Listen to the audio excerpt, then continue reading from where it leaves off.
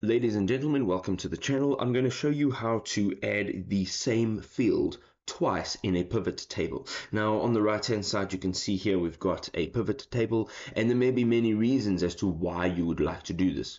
Now if you click anywhere on this pivot table you will have the pivot table analyze options and over here on the right hand side you're going to look for a field list. Now once you tap on that you can see that here are your items.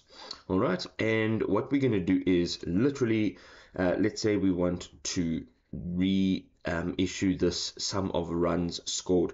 It's this one over here.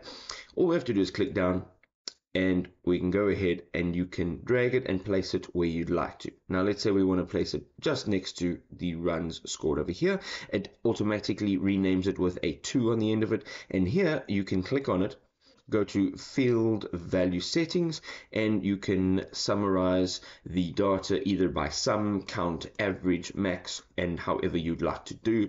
And just tap on OK. And now this will be summed and in the way that you have set it to be summed.